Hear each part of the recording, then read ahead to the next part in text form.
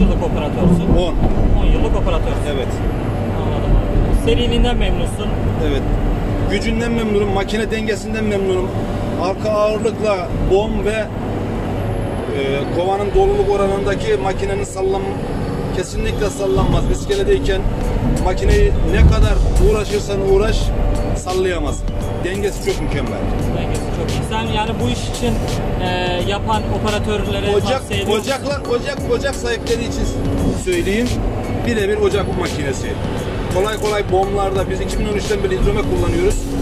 10.000 saate gel, e, 10.000 saate gelmiş makinemiz var. 11 hatta 10.000'den de fazla.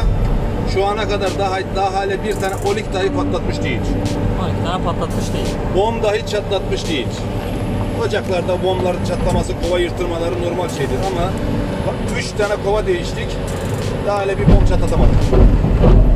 3 tane kova yıprattık, bir bomu çatlatamadık. Peki Bir tane olik değişmiş değilim. Bir tane hortum değişmiş değilim.